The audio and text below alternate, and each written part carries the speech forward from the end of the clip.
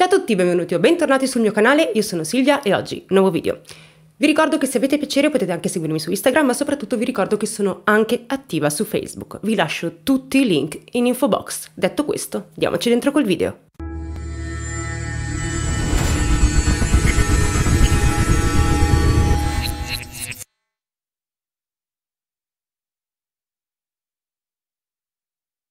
Oggi sono qui per parlarvi di un caso molto recente e a mio avviso parecchio doloroso. Alice e Alberto Scagni sono fratelli. Nell'estate del 1993 vengono immortalati in una foto sbiadita.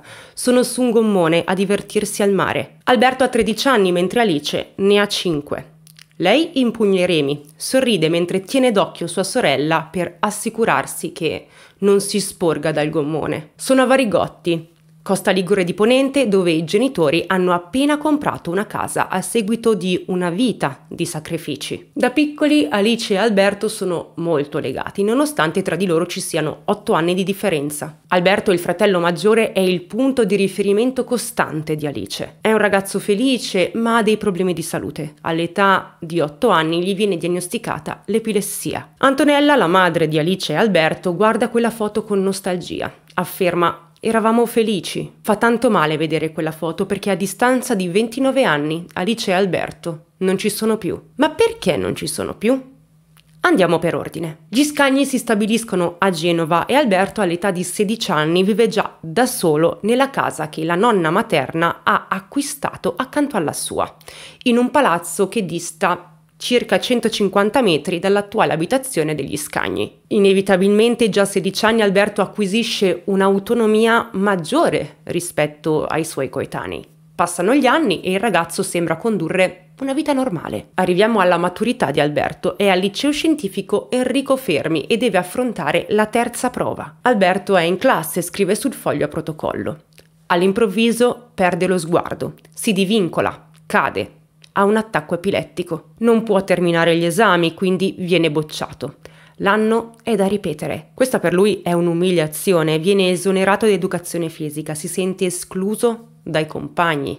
Eppure pratica il karate, è cintura marrone. Alberto ripete l'anno ed ecco che arriva nuovamente il giorno dell'esame. Antonella, la madre, dice: È stato male tutta la notte, me lo ricordo come fosse adesso. Il padre aggiunge: Ad ogni prova dell'esame siamo rimasti in un'auto accanto alla scuola per paura che potesse capitargli un altro attacco epilettico. Alberto questa volta si diploma, l'esame però non va benissimo, 67 su 100. Dopo il liceo si iscrive a scienze politiche, Alberto prova a studiare, frequenta intermittenza e non si appassiona. Si registra a un'agenzia interinale per trovare lavoro, diventa barista all'occorrenza e pizzaiolo per necessità. Il lavoro però non lo conquista, preferisce i libri. Alberto di libri ne compra tanti, adora Murakami, i testi sul Giappone, la filosofia orientale, scrive poesie, vuole diventare uno scrittore. Si rifugia spesso nella casa di campagna a Pozzol Groppo, in provincia di Alessandria. Lì spacca la legna, dipinge, Alberto ama Van Gogh, il disincanto dal mondo, l'anima dissidente. Compra degli acquerelli e una macchina fotografica.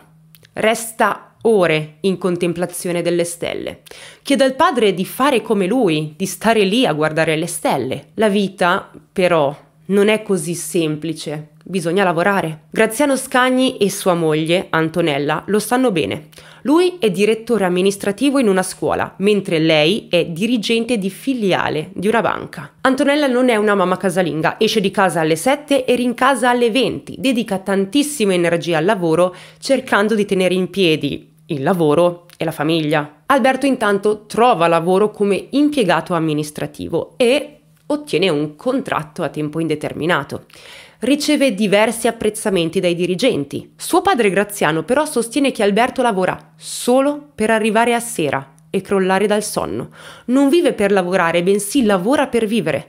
Non ha alcuna ambizione. Intanto Alice, la sorella di Alberto, si diploma con 97 su 100. Va poi all'università, frequenta giurisprudenza e si laurea con 92. Viene assunta in uno studio di commercialisti, si fidanza col suo futuro marito, Gianluca, e inizia la sua brillante carriera. Nel frattempo la vita di Alberto si complica, viene colto da un attacco epilettico inaspettato. viene portato in ospedale e quando viene dimesso si licenzia. Alberto ha raggiunto il limite, per lui è ormai insostenibile lavorare per gli altri. È uno spirito ribelle e chiude anche la sua relazione con la sua fidanzata storica, Roberta. La madre, Antonella, gli trova un'opportunità di lavoro in uno studio legale.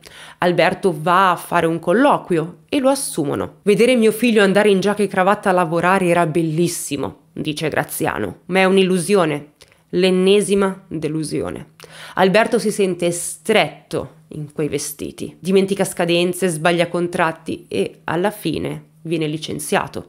Poi gli ritirano la patente per guida in stato di ebbrezza. Alice invece diventa presidente del consiglio di amministrazione dell'azienda. Poi si sposa. Vanno a scegliere il vestito da sposa per Alice a Torino e quella è l'ultima gita della famiglia al completo. Quando Alberto vede Alice vestita da sposa, si commuove. È tanto emozionato e felice per lei. Poi Arriva il Covid e Alberto, che già dimostra di avere difficoltà, sprofonda sempre di più nell'abisso. Prima andava in palestra, ma le palestre chiudono durante il lockdown. Gira per strada senza mascherina perché non sopporta l'autorità, l'imposizione. Parcheggia l'auto sul marciapiede e inevitabilmente fioccano le multe. Il padre si arrabbia, però le paga. A marzo 2021 nasce Alessandro, il figlio di Alice. La ragazza è al settimo cielo Alberto però è indifferente, presta poca attenzione al nipotino ed è avaro di carezze. Poi ecco che arriva l'ossessione di Alberto. È convinto di essere costantemente controllato.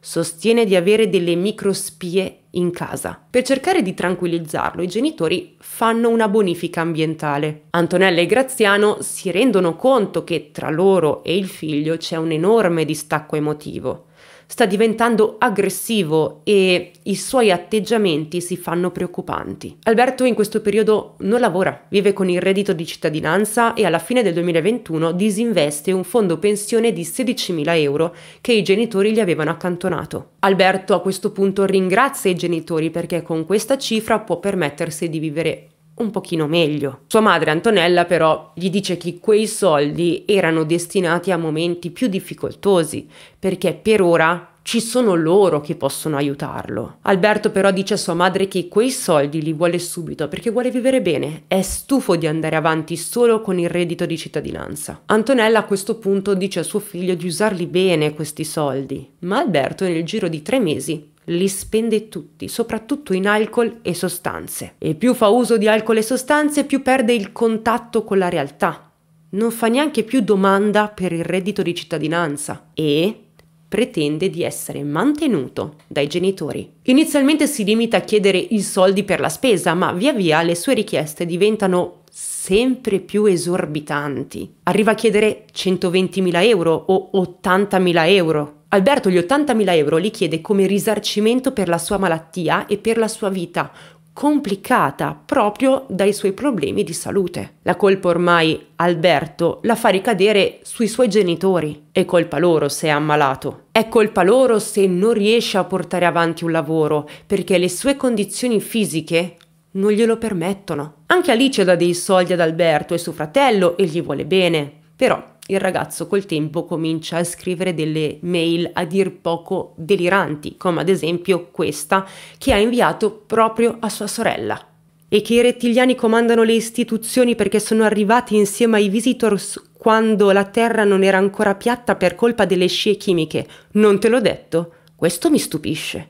Dunque, non sai se nostro padre Graziano Scagni si trovi in Piemonte oppure qui a Genova? Alice a questo punto dice Basta. La comunicazione con Alberto è inesistente. Lei dice una cosa e lui le risponde dicendo cose che non c'entrano assolutamente nulla e soprattutto non riesce a mantenere la sua famiglia e anche lui. Alberto pubblica sulla propria bacheca social e su quella della sorella continue lamentele per le mancate pronte risposte della famiglia, coinvolgendo anche il marito della donna. Proprio nei confronti di questi, Alberto cova sentimenti di gelosia anche per i suoi buoni rapporti con la famiglia della moglie. I genitori, insieme ad Alice e su consiglio di uno psicologo, si rivolgono al centro di salute mentale ASL 3 di Genova. Antonella tenta di contattare il primario, non senza difficoltà. Telefona tantissime volte riesce a parlare con questa persona intorno alla metà di marzo 2022. A seguito del colloquio, il primario non ha alcun dubbio.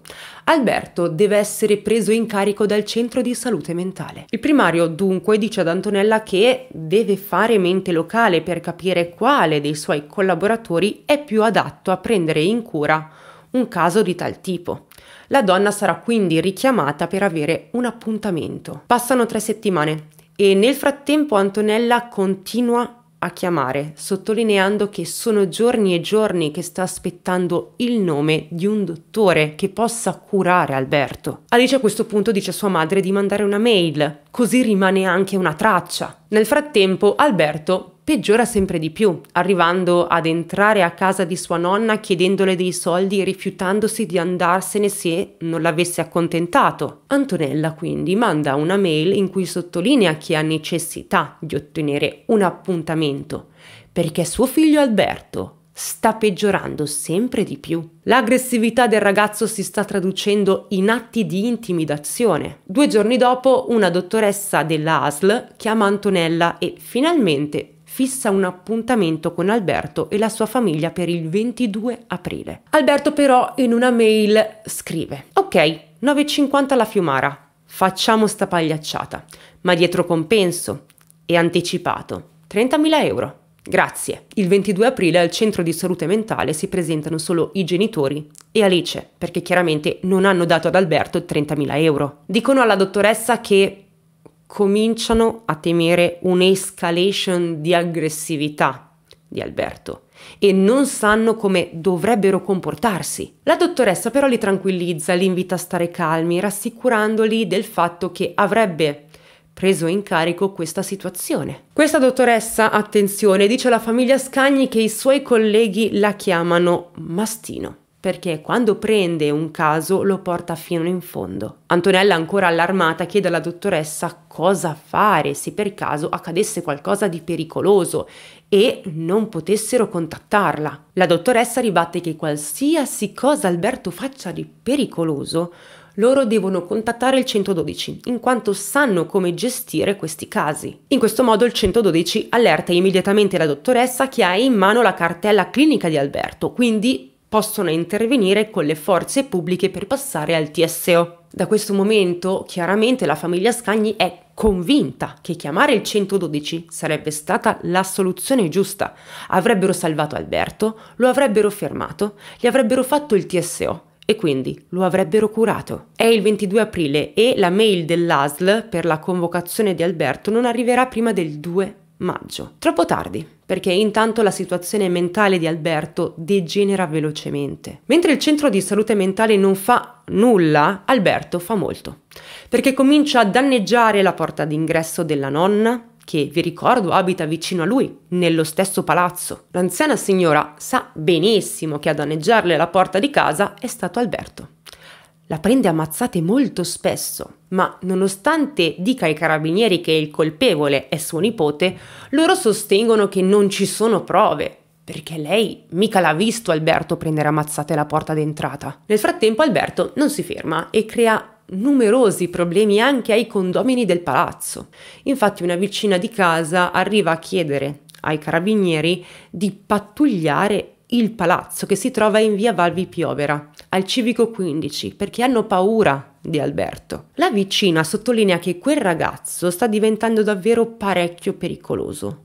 Non lo riconoscono più e sta facendo delle cose mai fatte prima, che li spaventano. Alberto sviluppa un tratto ossessivo e paranoide nei confronti dei vicini. Sente voci strane, rumori, immagina che gli altri si siano coalizzati contro di lui e si sente spiato. Inizia a incastrare degli stuzzicadenti nei citofoni per farli suonare in continuazione, fa rumore, picchia contro i muri la mazza da baseball, anche di notte, non facendo dormire nessuno. I condomini allertano più volte le forze dell'ordine, le quali o non si presentano o se lo fanno dicono semplicemente che loro non possono fare nulla hanno le mani legate. La situazione quindi non viene presa in carico da nessuno, sono i condomini che in qualche modo se la devono gestire da soli. La famiglia, lo dicono anche i condomini, ha provato in tutti i modi ad intervenire.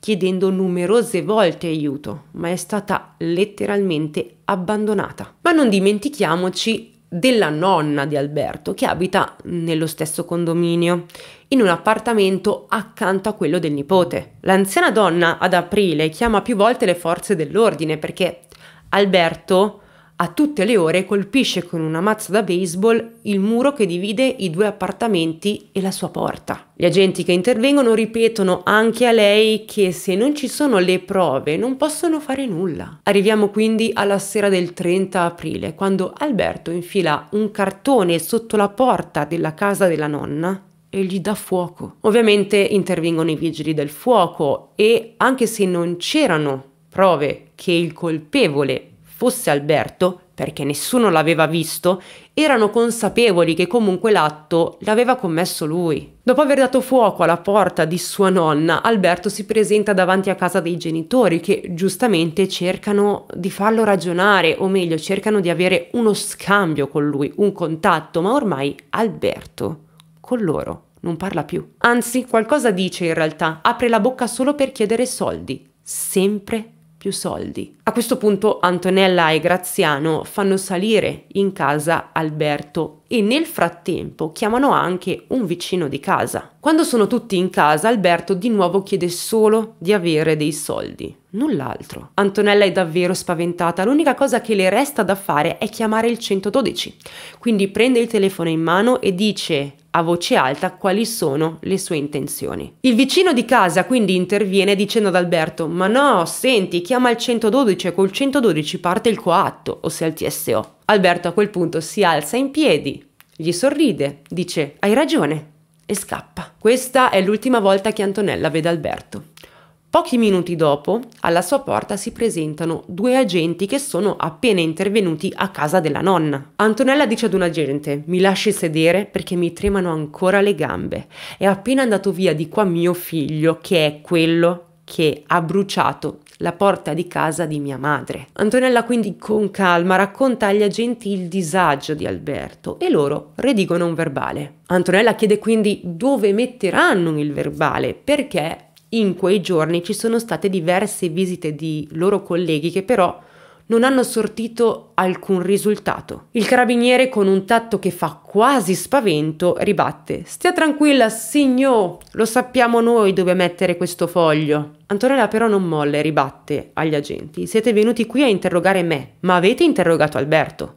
Siete andati a vedere come sta? Le forze dell'ordine ribattono: Non si preoccupi, noi sappiamo qual è il nostro lavoro. Lei firmi il verbale. Antonella a questo punto non può che constatare che queste persone non sanno quanto sia drammatica la situazione di Alberto e non hanno neanche intenzione di comprenderla. Antonella insiste e prega le forze dell'ordine di andare da Alberto e dice queste esatte parole, perché noi abbiamo paura di nostro figlio, abbiamo paura che ci faccia fare la fine dei genitori di Benno. Uno dei due carabinieri si gira ed esclama: E signor, non famo la tragica! Questo accade il 30 aprile. Quella notte il padre di Alberto va a presidiare la casa della suocera. Il ragazzo inizia a picchiare delle mazzate fortissime contro il muro.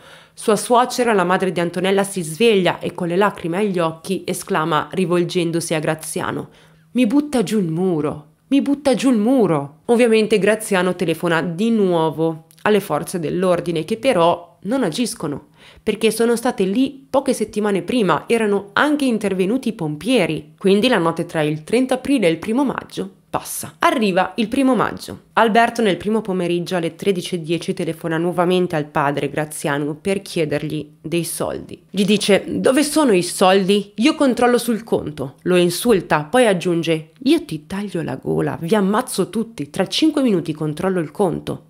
Conclude quindi la telefonata. Graziano sente che la voce di suo figlio Alberto è alterata. Sembra che non sia più in sé, quindi si preoccupa. Credo che questa situazione sia davvero assurda. Insomma, hai timore di tuo figlio, hai paura che possa farti del male, ma allo stesso tempo sei preoccupato per lui, perché ormai sai che le sue azioni e le sue affermazioni non hanno più aderenza con la realtà. Dopo cinque minuti il cellulare di Graziano suona di nuovo e la conversazione è questa. Alberto dice: Oh, parola con la F che si usa per insultare gli omosessuali. E allora suo padre ribatte. E allora cosa? Alberto risponde. I soldi per mangiare, uomo di merda.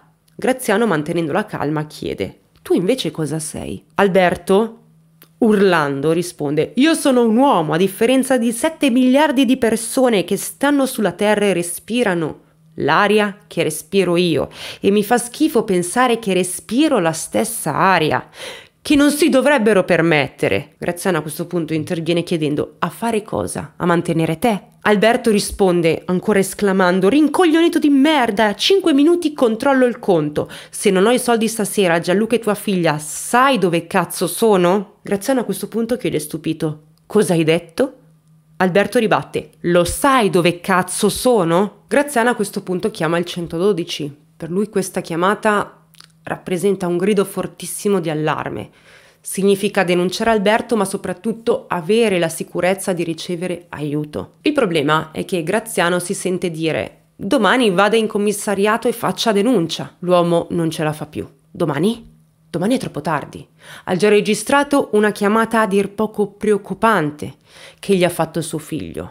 Una minaccia di morte verso sua figlia e il marito di quest'ultima. Graziano dunque prega i carabinieri di fare qualcosa, dice più volte che suo figlio si è comportato in modo irrazionale, facendo casino per tutta la notte. Il tutto si è concluso con una minaccia.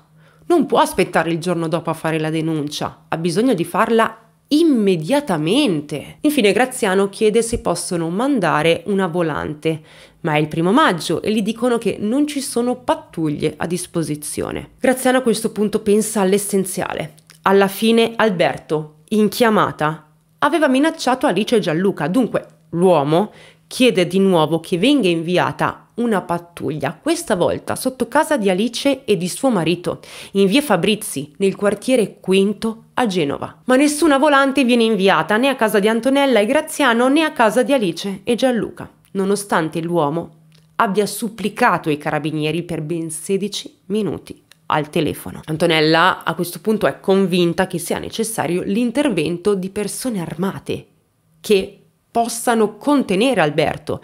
Il tempo degli psicologi e psichiatri sarebbe arrivato dopo. Ormai il ragazzo è diventato incontenibile. Sono le 13.30, subito dopo Graziano si occupa di portare in un luogo sicuro la nonna, mentre Antonella avvisa la figlia Alice e le raccomanda di rimanere in casa. Dopo il mancato intervento del 112, Antonella, la mamma di Alice e Alberto, dice chiaramente che l'unica speranza di contenere la situazione era ormai svanita. Lei e il marito non erano stati minimamente ascoltati, quindi non le restava che pregare. Purtroppo però le preghiere non bastano, perché alle nove meno un quarto di sera la chiama la sua consuocera dicendo Ma tu sai cosa è successo ai ragazzi perché Ivy, ossia il cane di Alice e Gianluca, è arrivata qua. Cos'è successo quindi? Verso le 8.40 Alice esce dal portone di casa sua per portare fuori il cane e viene immediatamente aggredita con un coltello dal fratello Alberto, che la colpisce con 19 coltellate alla schiena e all'addome. Antonella è una furia, chiama di nuovo il 112 urlando non avete fatto un cazzo a luna di oggi e adesso mio figlio ha fatto del male a mia figlia Alice. Antonella a quanto pare resta al telefono dice lei per circa 20 minuti, ma nessuno le sa dire nulla. Quando termina la chiamata col 112 Antonella richiama la sua consuocera e quest'ultima le dà la notizia peggiore, quella che nessun genitore vorrebbe mai ascoltare. Alice non ce l'ha fatta. Alice è uscita di casa col cane dicendo è mio fratello, mi vuole bene, non mi farebbe mai del male. Invece è proprio suo fratello colui che l'ha colpita così tante volte per poi darsi alla fuga. Viene fermato e arrestato a pochi metri di distanza, sporco di sangue. La triste verità è che Alice è morta totalmente da sola. I suoi genitori non hanno potuto neanche tenerle la mano perché è morta per strada. Quando sono arrivate le ambulanze, era già troppo tardi. La mattina dopo, Quinto, il quartiere in cui abitava Alice, è sotto shock. L'atmosfera che si respira è un misto di incredulità e sgomento. La domanda nasce spontanea. Alice poteva essere salvata? Questa tragedia è maturata in mesi, dove lo Stato non è esistito. Quindi la risposta è una. Sì, questa tragedia poteva e doveva essere evitata. Io non voglio neanche immaginare il dramma con cui hanno dovuto fare i conti Antonella e Graziano. Alice non è stata uccisa da un estraneo, ma da suo fratello e i genitori sapevano che era pericoloso, l'hanno reso chiaro anche alle forze dell'ordine, hanno provato a far capire la gravità della situazione che puntualmente è stata presa sotto gamba. E ora cosa resta? Una donna meravigliosa, Alice, è morta lasciando un marito e un bimbo splendido di appena due anni, Alessandro, che crescerà senza la sua mamma. Nei giorni successivi alla tragedia, guardando le foto di Alice, ha sussurrato Mamma, non potrà riaverla indietro. Crescerà col padre Gianluca, rimasto vedovo, e con i nonni paterni, e quelli materni. Così i genitori di Alice Alberto hanno denunciato le forze dell'ordine e le strutture sanitarie coinvolte per omissione di atti di ufficio e morte in conseguenza di altro delitto. Viene dunque aperta un'indagine a carico di ignoti. Ma arriviamo al 14 novembre 2022 quando l'indagine nata su pressione dei genitori di Alice non è più a carico di ignoti. I tre indagati per omissione d'atti d'ufficio e omessa denuncia sono due poliziotti e un medico della salute mentale.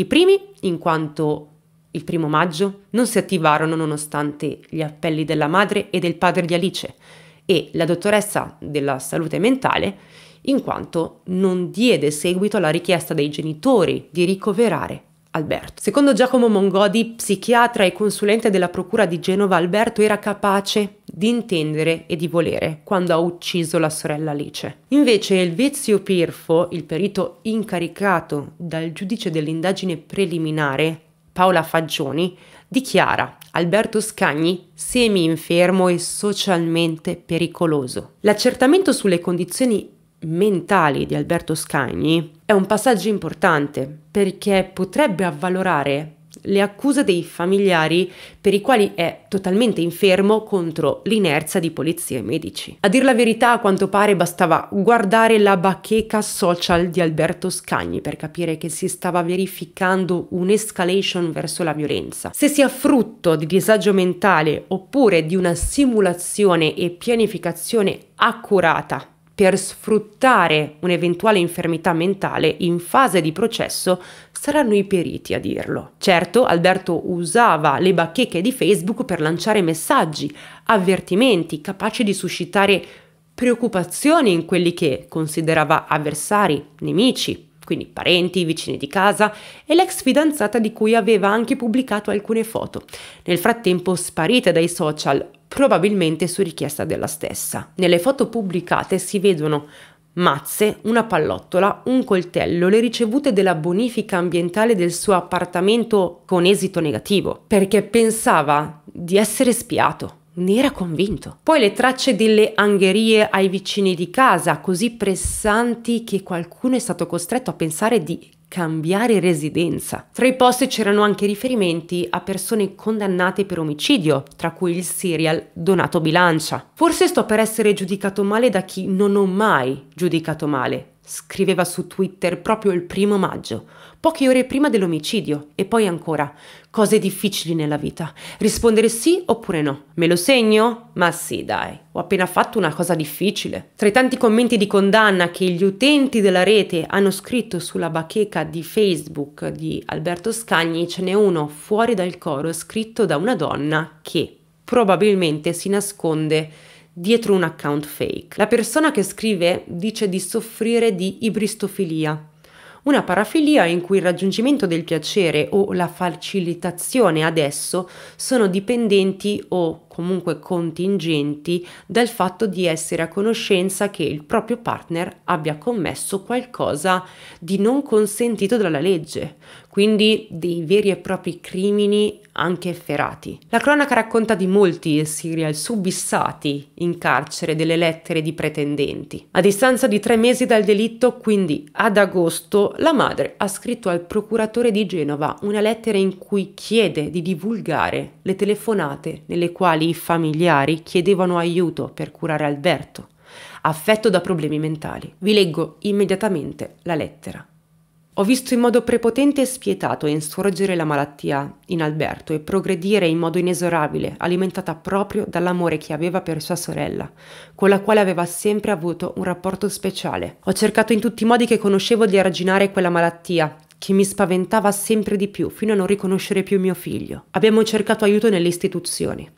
Ci siamo imbattuti in una fredda e ignorante burocrazia. Questo scrive Antonella Zarri, la madre di Alice Alberto. Poi continua. La donna spiega di aver ricevuto una risposta indolente ma prepotente nel suo reiterato e pigro rifiuto di farsi carico del proprio ruolo di garanzia e aiuto verso i cittadini in difficoltà. Sono perfettamente consapevole del fatto che le cronache su come è stata distrutta la mia famiglia presto termineranno. Ho l'atroce sospetto che si voglia far calare il silenzio su ciò che è accaduto.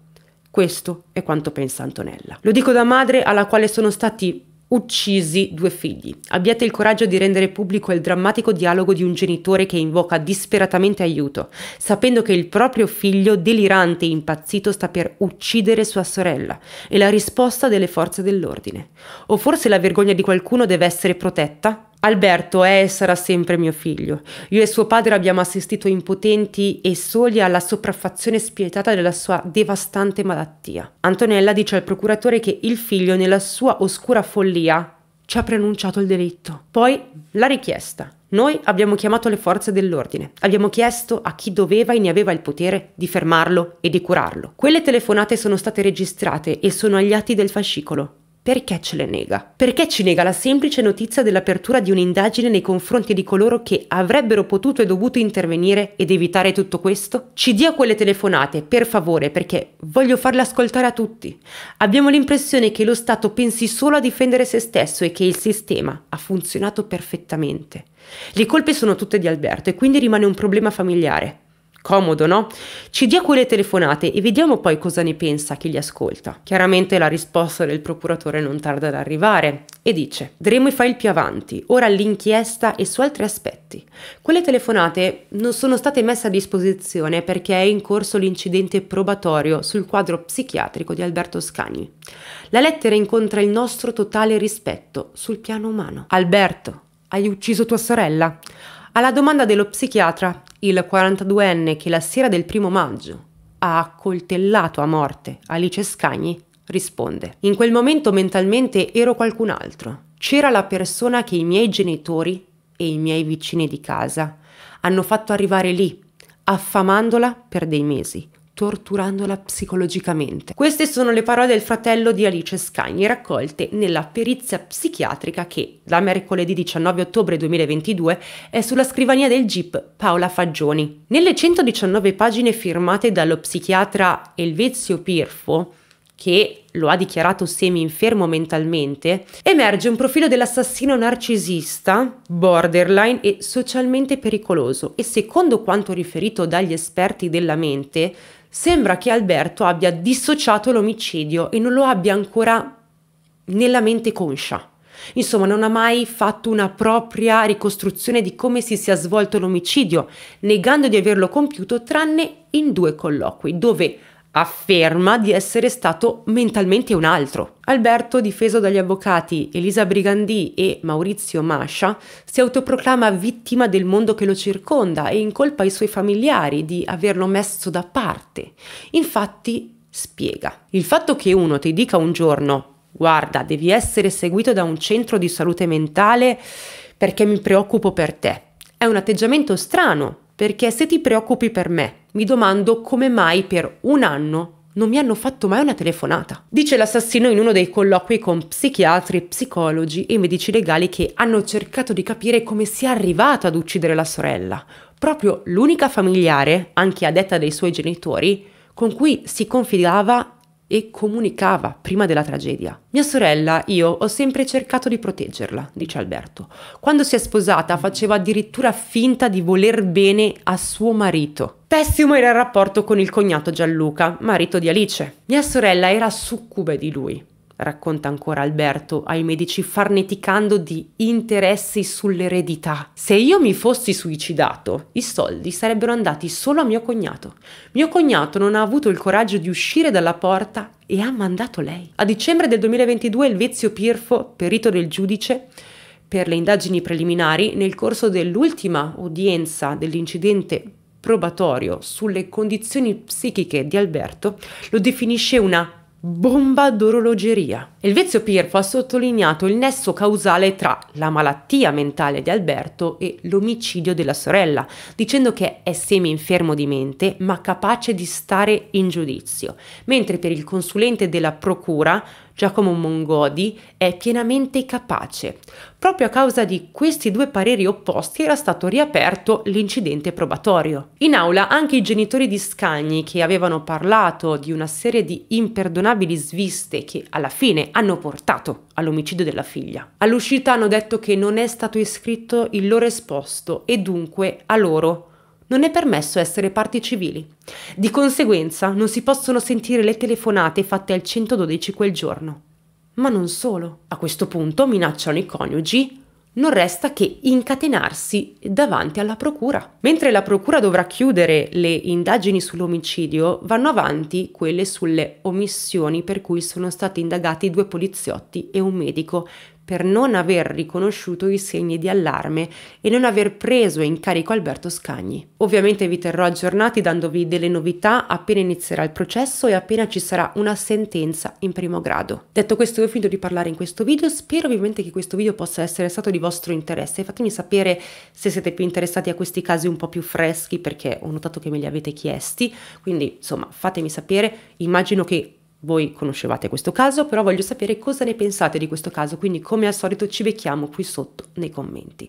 Come al solito penso che la salute mentale spesso e volentieri venga presa sotto gamba. E purtroppo questo è un enorme errore. Questo enorme errore purtroppo è costato la vita a una donna. Fatemi sapere cosa ne pensate qui sotto nei commenti.